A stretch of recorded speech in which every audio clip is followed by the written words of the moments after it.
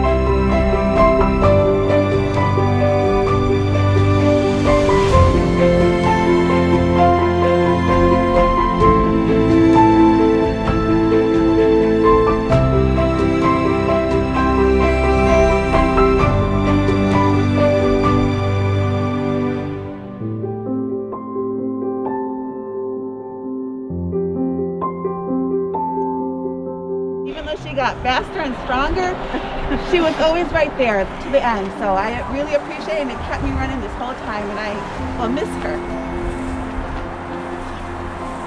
I'll share. Oh.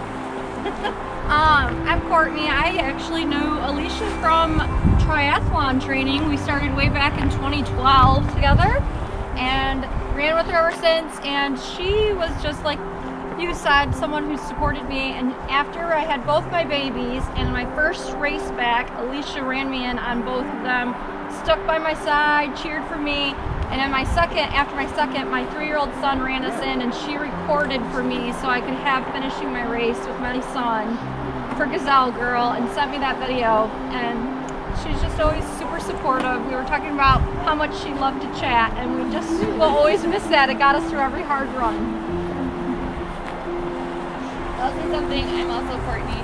Alicia was my pace, pace group leader. Um, the Gazelle Run Club was my very first group run club. I didn't have the confidence to do a run club prior to, and um, Alicia made me feel right at home, and we became um, quick friends. And she, the last run I got to do with Alicia was um, the New York City Marathon this November. She helped me finish it virtually, and uh, was just the kind of person I felt you could always count on. Um, she gave a lot of herself to those of us in her pace group and I think to the Gazelle community and everyone else. So um, I'll miss her a lot.